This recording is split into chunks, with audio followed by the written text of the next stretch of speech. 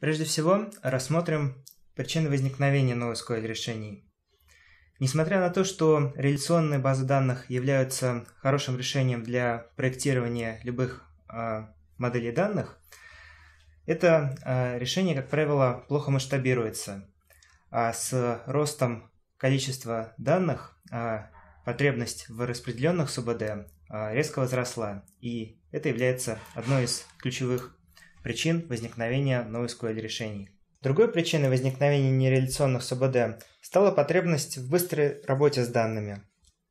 Реляционные базы данных, как правило, имеют э, множество компонентов для того, чтобы удобно было писать запрос и удобно работать э, практически с любой э, файловой системой или и операционной системой.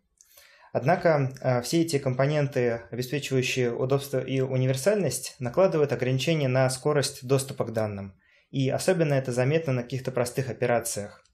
Поэтому второй ключевой причиной распространения нереляционных СУБД является отказ от э, компонентов, обеспечивающих универсальный доступ к данным, посредством языка SQL, например, э, для того, чтобы обеспечить э, быстрый доступ к данным и работу с ними для определенных классов операций, как правило, достаточно простых. И также, когда мы э, говорили о недостатках э, реляционной модели данных, то мы отметили, что несмотря на то, что практически любую задачу можно моделировать с помощью реляционной модели данных, не всегда эта модель является достаточно простой для восприятия человеком.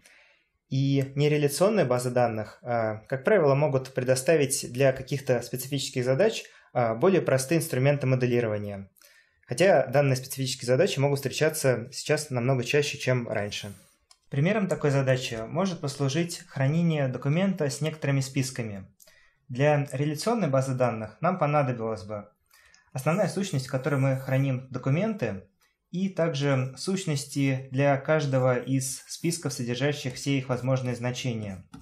А в случае, если бы мы рассматривали связь многие ко многим э, вхождения элементов списка в сам документ, нам потребовались бы еще и дополнительные таблицы, которые обеспечивали бы связь многие ко многим.